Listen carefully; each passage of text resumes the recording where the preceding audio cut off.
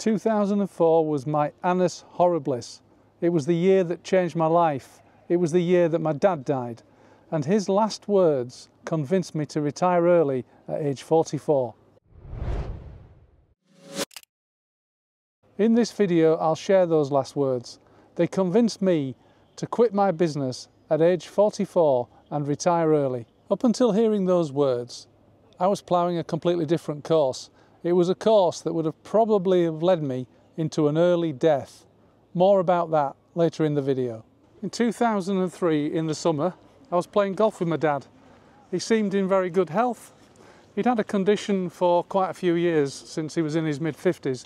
It was a form of leukemia, but it was well under control and it never really affected his life.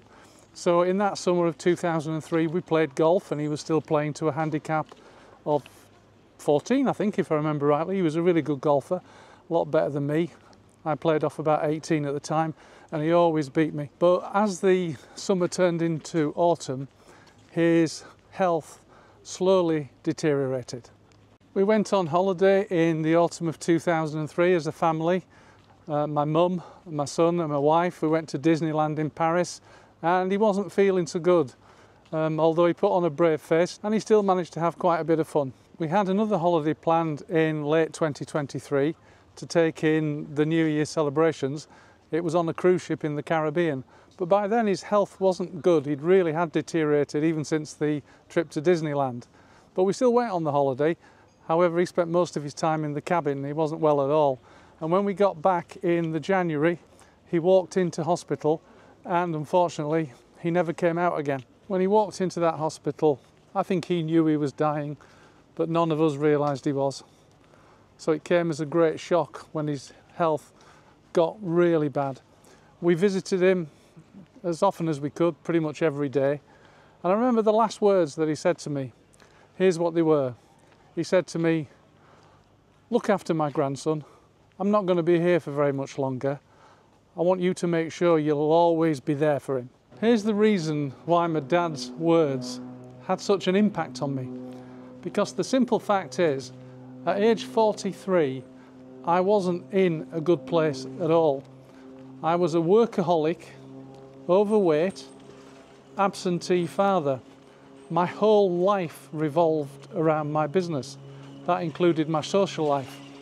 I worked long hours, and I very rarely got home before 10 o'clock in the evening and I didn't get to spend much time with my then five-year-old son at all. At 43, my priorities were all wrong. I prioritised work ahead of family, friends and even my own health. And that was madness in reality. If I can put some context behind that statement, We'd actually had difficulty having a child, my wife and I. It had taken us 13 years before we were finally blessed with a child. So you would have thought that with that kind of background, that I would have spent more time with him and less time at work. But that wasn't the case. And I think my father knew this, which is why he uttered those words to me in our last conversation. One of the things that was particularly alarming in the years leading up to my retirement was that my health had really deteriorated. I weighed 17 stone. If I can also put that in context, I only weigh 13 stone 9 now. So business and my working life was taking a real toll on me. 17 stone was quite a weight to be lugging around and it was 100% the result of my working lifestyle. Work was all about corporate lunches, events, entertainment and late nights Often I didn't get home until late in the evening or even early in the morning and it was taking a toll on my health. I was stressed, I was overweight, I felt depressed often and I was often in a really bad mood. And looking back on it, I can't understand why I didn't do something about it until the words that my father spoke to me. If I hadn't have finally made the decision to quit my business at 44, I might not even have made it to 74, which was obviously the age that my dad had died. And at the very least, I owed it to my son to do something about it. So I did. I made the decision to retire. The opportunity to sell the business came up. My business partners and I decided it was a good opportunity.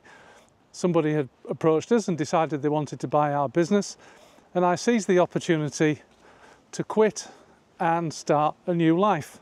Retirement hasn't exactly been a bed of roses. The first six months were fantastic, a real honeymoon period. I didn't miss much at all. It was the summer, I got to spend a lot of time with my young son, we did a lot of travelling. Yeah, a real honeymoon period. But then the British winter set in and I started to sink into a bit of a mood, started to miss things about work, things that used to get on my nerves in the past. I started missing them. Meetings, would you believe? Interaction with people. But the reality is, the retirement decision was the best one that I ever made. The reason for that is that after 12 months, I settled into a routine. I started getting into the job or the role, if you want to call it a job, of being a stay at home dad. I loved every minute of it. I took my son to school. I picked him up at night. I went to practically every sporting event and it was the biggest reason for retiring and it was the most beneficial thing that I got spending time with him and chatting with him in the car as we went to school and came home from school are just moments that I can never get back. So here are the three main benefits of retiring at 44. Number one is relationships. I got to spend a lot of time with my son and we developed a very close relationship that still exists to this day. I don't think if I'd have stayed at work and not retired that I would have been as close to him as I actually am. So that was a big benefit. My wife and I also got to spend a lot of time together and do the things that we'd never ever really done. We'd just gone on holiday and had date nights and things like that. But we got to do a lot of things together. We went visiting various cities around the UK, we went walking in the countryside. In between pickup time from our son at dropping him at say 8 a.m. and then picking him up again at 3 o'clock, we actually did a lot of things. And that was a great benefit of retiring. I began my retirement with no friends. I've talked about that in other videos which I'll list below.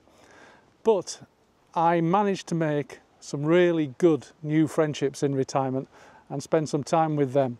That was one of the big benefits also of retirement, a chance to focus on friendships. None of them, by the way, were people that I used to work with. The second main benefit of retiring was the impact on my health. I got to go to the gym. I even signed up with a personal trainer to, to try and shift some of the weight and it worked. Also there was all the walking that I mentioned previously with my wife. So my health was good. I went down from somewhere nearly 17 stone to around about 15, which was a couple of stone lighter and I felt a lot better for it. Although I have to say now that I'm 13 stone 9, I feel even better. So probably I could have put a little bit more effort into that. But yeah, definitely my health benefited, although there is a little bit of a legacy, I think, from the corporate world and all the lunches and events and restaurants that I used to go to during that period. Uh, I've got a dodgy gallbladder, and as I'm making this video, I've still got three months to go before I have a visit to the surgeon to have it removed. But uh, more on that in uh, future videos. And the final major benefit of retiring early was that I got to travel the world. I got to go to places that I would never would have been to before. My holidays when I was working, I tended not to want to go too far. Um, I like to fly two, three hours to get to somewhere. So Portugal was somewhere that we used to go a lot. In fact, after we retired, we still spent a lot of time in Portugal, but there was more time to explore the world and we did. We went to New Zealand, Australia, Singapore, Brazil, the Caribbean, the west coast of America. We really packed it in and our young son came with us. Memories were fantastic, things that will live with me until the day I die. Before I wrap up this video, I just want to talk about two of the biggest regrets of the dying, which come from the excellent book, The Five Top Regrets of the Dying by Bronnie Ware, who was a palliative nurse caring for people at the end of life. The first regret that I think we should all take notice of, and it's one that I didn't take notice of until after my father passed away, was that I wish I hadn't worked so hard. And that one is particularly common among men who've missed their children's youth and missed much of the companionship of their wives. On their deathbeds, they do regret having worked so hard. So that's one for us all to ponder about. And the question I'll ask you if you're 50 or over and you're still working, you're still working hard, still trying to grind it out, climb corporate ladders, whether that be for acknowledgements, that sort of thing. I know for some people they have to work, I'm, I'm well aware of that. I get lots of comments from people saying that I'm really lucky to have had a chance to retire at 44 and I know that. I know some people are not so lucky, but if you can retire, but you're still working, then the big question I would ask you is why? Second big regret is I wish I had stayed in touch with my friends and I'm really guilty of that one. Once my business took off and I got immersed in it, I dropped my friends. It wasn't a deliberate thing, we just kind of drifted apart and I do regret that. That will be a big regret. Some of them I've managed to make up, we've actually got back in touch and I now have them back in my lives, thank goodness. But some of them, unfortunately, I don't. But that is one of the biggest regrets of the dying, that they don't stay in touch with old friends. They don't realise the value of friendship until it's far too late. So I'm not saying that you should all quit working and retire early. I know that's not possible for everybody. But all I'm saying is if you can, then you should. If you can't, then what I'm asking you to do is just take a look at your priorities. Can you work less, spend more time with your family? Because if you can, you probably should. Anyway, thanks very much for watching. I'll see you in the next video.